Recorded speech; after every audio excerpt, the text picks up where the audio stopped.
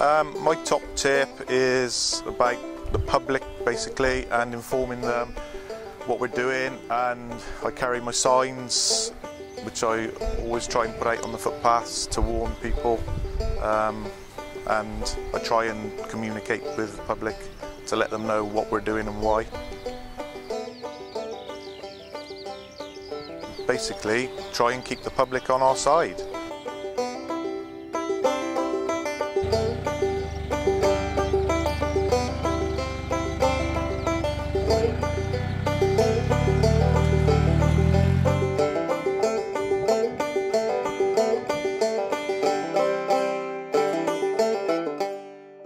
Yeah, it's been enjoyable, a bit scary at times, not knowing um, what's happening, being a first-time entrant.